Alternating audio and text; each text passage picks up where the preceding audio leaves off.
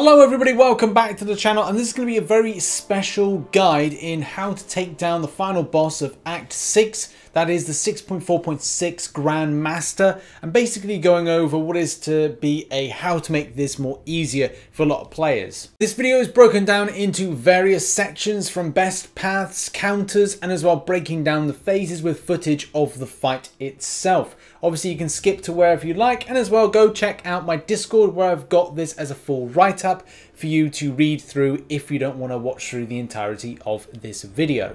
And before going anywhere, I just want to shout out three specific videos where links are in the description down below. The first one being MCOC's Journals video, which was obviously all about the prep side of things. Metal Sonic Dude for the way he handles the fights and as well understanding intercepts and when it's applicable to then go in and as well being inspiration to a lot of players in how to really play in this day and age. And the final one being a very interesting bypassing inverted controls video using Mr. Sinister by Lagacy. Now from an initial clear standpoint, it is difficult to say which is the best route. Many people say that the Sunspot route is actually the best route to go down. If you're not familiar which one that is, that is one with Sunspot being the mini boss.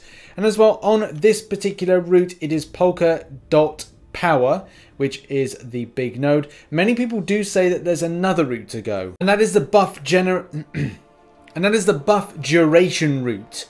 And obviously it's all about applicable to what Sentinel you take down as to what it actually means for this boss fight. With the one main route that a lot of players point out as going down is opportunistic, which basically means that the length of time of wounded is actually not as long as it should be.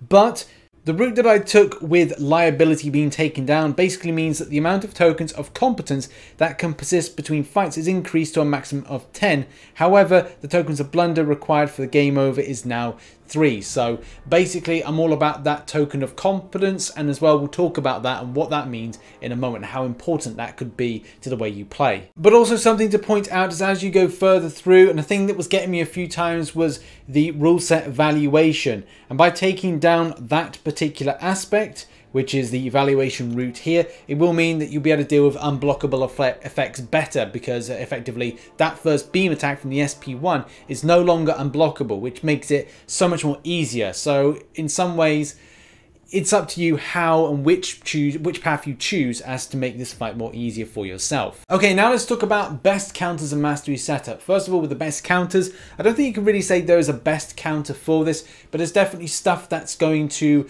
reduce your suffering and as well things that will make you think that things are going better than they are by having a certain champion that maybe has a higher block damage threshold. So one thing that's able to kind of take a lot of block damage, like uh, Beardo, like uh, Doctor Doom, you know, any champion that's got uh, armor in it, that's uh, Colossus. You know, there's loads of different examples, but also champions that are able to deal with inverted controls could be very helpful, like your Emma Frost, like your Mr. Sinisters, and also champions that gain armor, like uh, Colossus, and so many others that could be really effective for these fights. But also don't undermine lots of different champions that are really fun like She-Hulk and ramping up champions that do amazing damage output, prowess champions, the list goes on. And as the future goes on, new champions being added to the mix like Red Guardian and so many others will hopefully deal with a lot of the problems that this fight has to offer.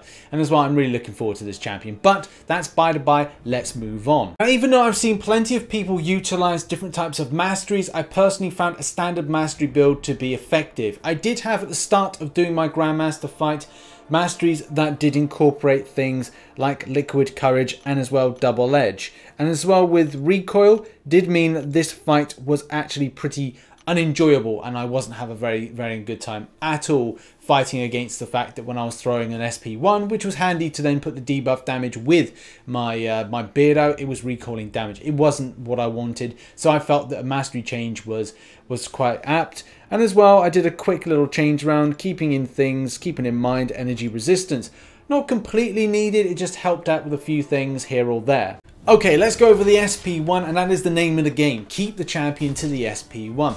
The beam attack caught me a few times and I do want to try out champions that maybe could deal with this but as well we have gone over the path that you can take down to make that fight more easier if that is something you would think is a limitation that uh, you might have in your playing ability.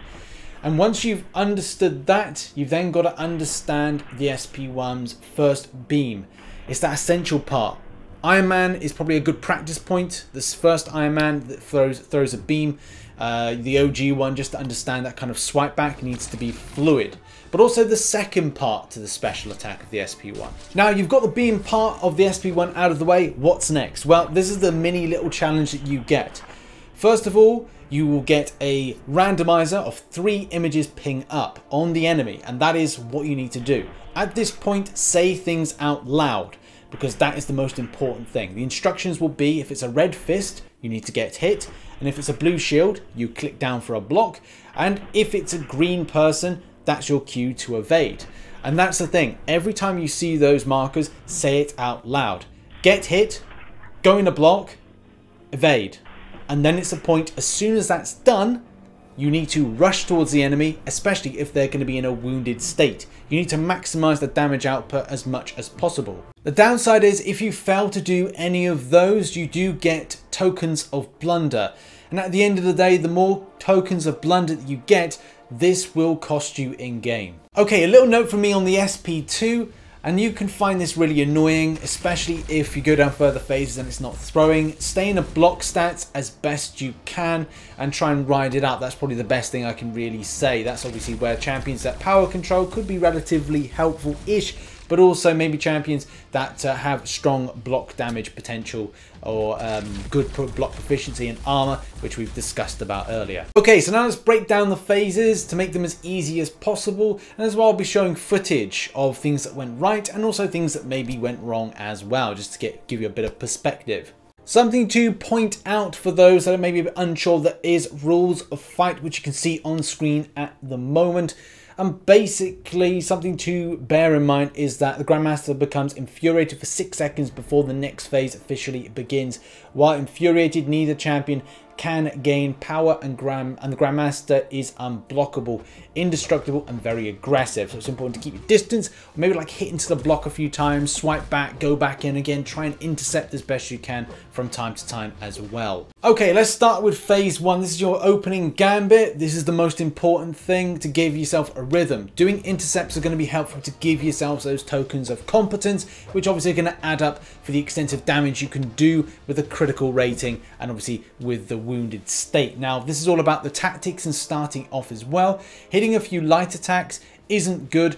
Do the one, two light attacks, make sure you see the pop-up which will be on the enemy side and it will pop up with a little thing saying okay well this is the light attack this is the dexterity when you've been swiping back and then it's put that up there and the final thing will be doing a parry i always like going down the method of starting off with dexterity because it's easy to begin with the second thing being doing the light attack and then relax with the parry which obviously then puts it into the state of completing uh, that particular tactic that uh, you need to facilitate. And also if you need some great advice or kind of great kind of visuals of the intercepts playing out well, go and watch Metal Sonic Dude's video because it's just a masterclass of how this needs to be performed.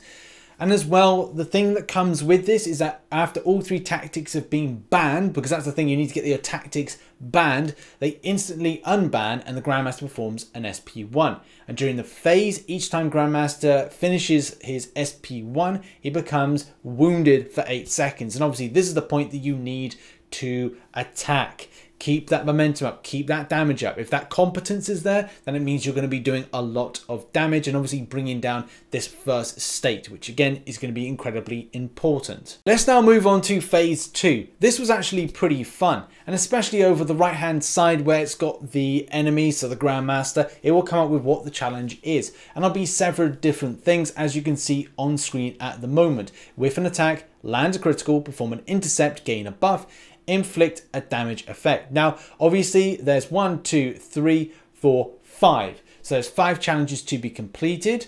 So as it even says that, during the phase after each challenge has cycled one time, the Grandmaster is wounded for seven seconds.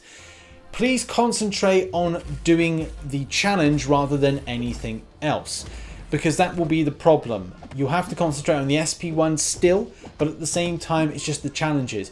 Whiff an attack is probably very effective if you remember to click for a light and then swipe back and go into block or you know hit go into block. It's probably important to do that uh, whilst you're at the back of the screen in order to make sure you're not hit whilst you're kind of like uh, swiping back or trying to dexterity and it's not really working. Obviously if you've got the dexterity mastery it will be handy for gain a buff and also, when I said about the champions inflicting off the SP1 or saying with a, a heavy attack, SP1's a little bit more easier to do. You can obviously do that to inflict a damaging effect, but obviously there are other options for that. It's not always about that. Final thing to mention about this phase is this champion is immune to all stun debuffs, so don't try and do the parry, stay in a block if you can, and keep your distance. And as well, throughout this phase, this champion is building power a lot more easily. But obviously, if you can, uh, try to keep the champion baited to an SP1. It is it's easier said than done, especially with the fact that sometimes the AI has been wanting to just throw those SP2s, which uh, happen to me a lot of the time. Okay, phase three up now, similar as the one before. The challenge is a little more easier, I would say. Strike into block, that's really easy to do. You just got a time when, when it's important to like hit in. Perform a back dash, and obviously that again is uh, really straightforward. You know, swipe back four times, five times, whatever times that you need to. Perform a knockdown. Obviously throwing an SP1 or a heavy attack, I would probably say recommended to throw an SP1. I just find that would be a bit more easier to do. Perform well-timed blocks. Easier said than done. Sometimes that's worked out well for me, sometimes it hasn't. So obviously do bear in mind sometimes things will work, things will not work as well. And obviously after every fifth challenge, because you have to do five challenges in a row, you then get the wounded state and that is something that is very important to do. Obviously, something to mention is that even in the SP1 and as well, I think as well with the um, the challenges uh, resetting in the wounded state, uh, it doesn't reset. So when you're wounded and SP1, it does mean that the challenges are paused. So that's that's good in some ways. It allows you to then get back into the rhythm of things. However, though, the biggest crucial thing about this phase is that every 42.50 seconds the summoner's controls are reversed for 8.5 seconds. Uh, and obviously this is something to bear in mind when you're thinking about champions to use. Now, Mr. Sinister, I believe Emma Frost are champions that uh, do not get affected by inverted control. So there could be some viable options for you if you do struggle with inverted controls whatsoever. So um, good luck to you on this one. I made sure to do as much damage as possible within that time frame of the um, the inverted controls. It was only one time I think it was that I was able to do it before the inverted controls came in, and then it's uh, yeah, it's it's very difficult to kind of do it just before. It usually happens after. And now on to the final phase, phase 4. This is checkmate between 1% and 0% health. The Grandmaster becomes infuriated for 18 seconds. During the final countdown, he's also permanently unstoppable. However, intercepts disable the unstoppable effect for 1.2 seconds. When infuriated ends, the Grandmaster becomes impermanently wounded for the rest of the fight and will only take damage from the summoner's SP3. So there's some good to this bad situation.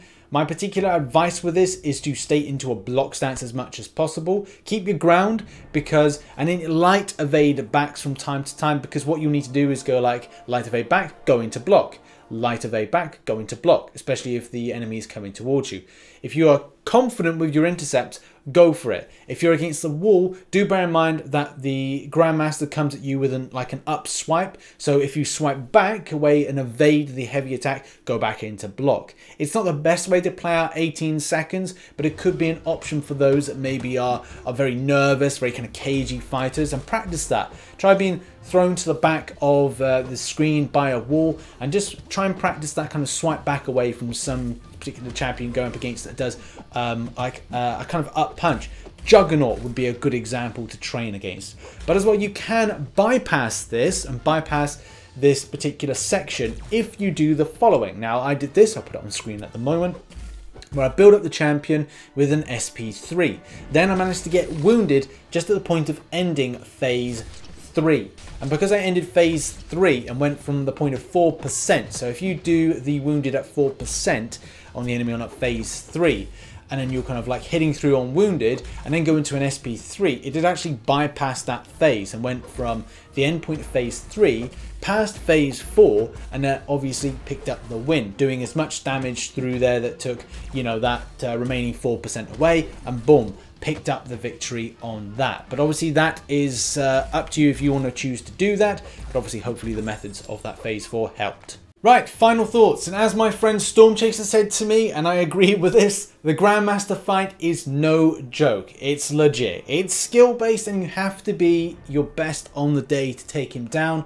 When you re-enter the fight as well, just to mention, uh, try not to make a mistake. This champion will also have that kind of infuriated when you go back in and you have to do the same principle. So it's good practice to kind of go, right, well, I'll keep my distance. I'll uh, make sure to keep up with uh, hitting into the enemy. Hitting into blocks as well will kind of like take down the time a little bit until the point that infuriated goes and you can get back into the fight. I would say on units wise, if you are a very skilled fighter, you won't need many units, but I would probably say have about 2,000 units there just in case, especially if you're a very nervous fighter. I did put on some boosts from time to time, so that could be an option to help you out, but it's completely up to you if you want to add those boosts to your fight. And there we go. Hopefully this guide has helped out. It's basically a guide of how to easily take down the Grandmaster and uh, hopefully this kind of like went off quite well and everybody enjoyed it. If you did please hit the like button. Subscribe. Check out the discord as well where the write-up of this guide is. And check out some of the other content on screen at the moment. Thank you very much for supporting this video and see you all very soon in a live stream on twitch and also on youtube and also in another video. Bye bye for now